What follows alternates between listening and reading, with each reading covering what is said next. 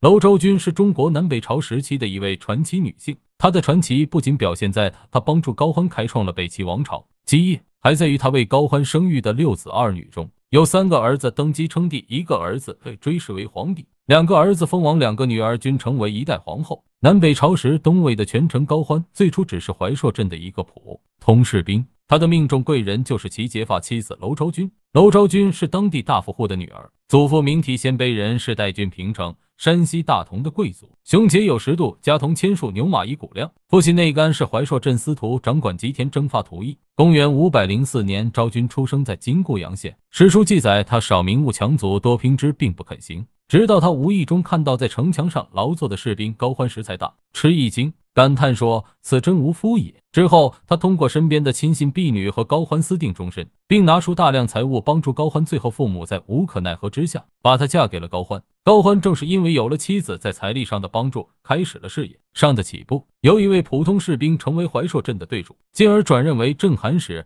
给朝廷送古文的人。最终成就了不朽事业。娄昭君会不会是一个隐藏颇深的武则天呢？作为一位母亲，娄昭君所经历的这种传奇，获得的这份荣耀，即使放在整个人类历史上，都是一个绝无仅有的奇迹。那么，是她有一套教子秘方，还是上天赐给她的特殊幸运呢？以古代母以子贵的传统，娄昭君会不会是一个隐藏颇深的武则天呢？高欢共有一妻十妾，十五个儿子，三个女儿。从娄昭君一人独生八个孩子的骄人战绩上，不难看出高欢对她的宠爱。说来也奇，娄昭君每次怀孕都会做怪梦，孕文香则梦一段龙，孕文宣则梦打龙，孕孝昭则梦如龙于地，孕武成则梦龙跃于海，孕魏二后并梦月入怀。北史上面的这种记载虽然荒诞，但他的儿子高阳、高演、高湛先后称帝，高成被追谥为文襄皇帝，两个女儿分别成为北魏。孝武帝和东魏孝敬帝的皇后却是不争的事实。四个儿子是皇帝，两个女儿是皇后。娄昭君，五零幺五六二，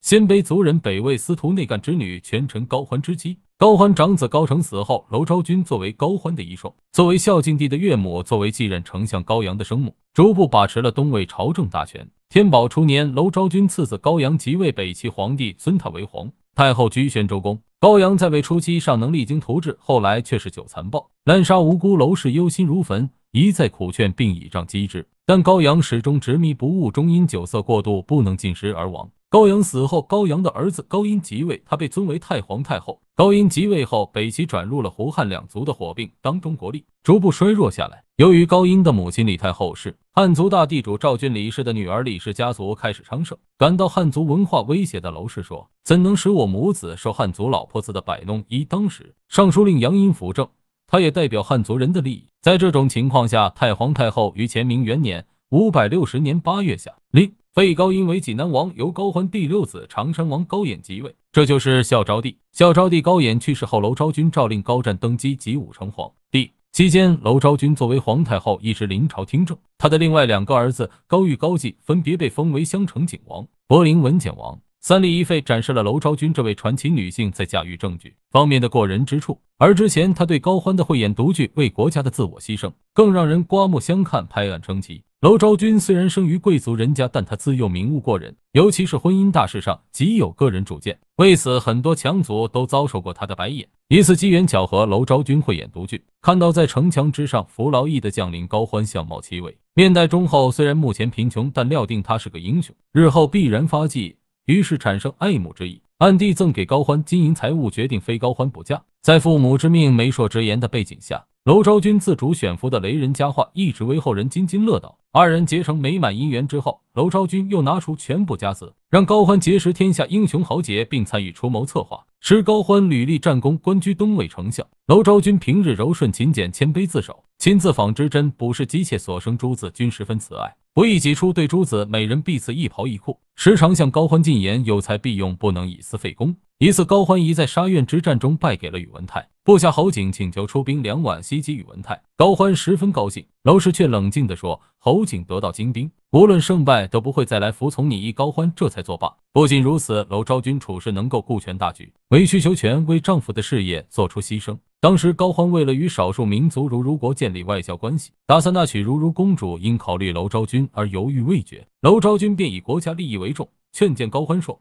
国家大计，不要失仪。”高欢娶回如如公主后，他自动腾出正事，让高欢合婚，此举受到举国上下称赞。还有一次，娄昭君分娩双胞胎时遭遇难产，当时正值北魏分裂后，东魏、西魏两国之间战事不断，高欢带兵攻打西魏，公然要将娄昭君难产的消息送信给高欢，让其回宫照看昭君，制止不让。说王储统大兵，何得以我故亲离君墓。后来终于忍痛生出一男一女的双胞胎。日后高欢听到以后很受感动。历史记载，娄昭君怀着八个孩子的时候都会做梦，而且每次梦到的东西都不一样。太后凡孕六男二女皆感梦，运文香则梦一段龙，运文轩则梦大龙首尾属天地，张口动目，势状惊人；运孝昭则梦如龙于地，运武成则梦龙跃于海，运魏二后并梦月入怀，运襄城柏林二王孟蜀入衣下。后魏崩有童谣曰：“九龙母死不作晓。”继后崩五城不改服，飞袍如故，为其登三台置酒作乐。宫女进白袍地，怒投烛台下。何事开请旨，乐帝大怒抓之。帝于坤祭赐十九，盖其争宴，也在中国历史上。外戚擅权乱政，亲族贵荣之事屡见不鲜。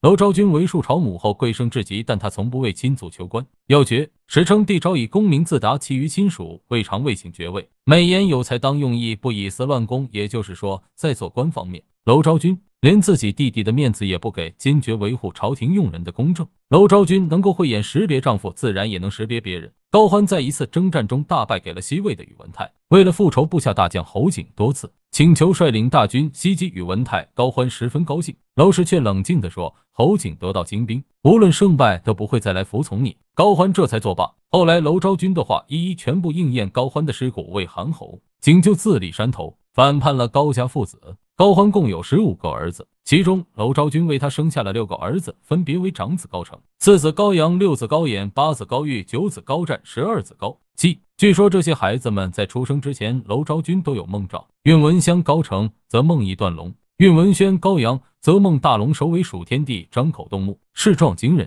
运孝昭高衍则梦如龙于地，运武成高湛则梦龙跃于海，运襄城伯陵二王梦属入衣下。娄昭君的六个儿子中，除了八儿子高玉早逝，十二子高继被侄高伟杀死外，其他四个都或多或少的享受了一点皇帝的滋味。可以说，像娄昭君这样生六个儿子，四个能够成为皇帝的女人，在中国历史上绝对是绝无仅有的，在世界上恐怕也是空前绝后的。没过她的这些儿子们，没有一个年过四十。我想，尽管娄昭君贵为皇太后，眼睁睁的看着儿子们不是被杀，就是早死，这种白发人送黑发人的味道。只有自己深解其中的滋味吧。